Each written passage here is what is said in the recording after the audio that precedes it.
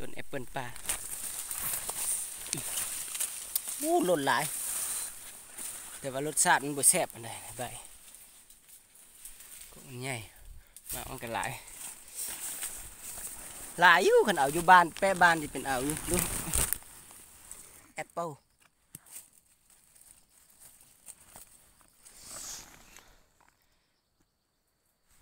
โอ้หล่นหลาย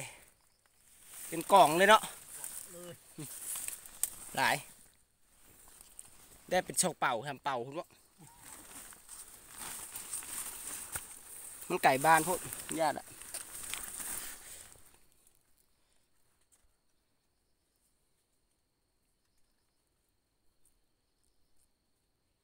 โอ้หลาย หลายได้รสชาติมันก็สมๆคล้ายคือแอปเปิลจีนนะ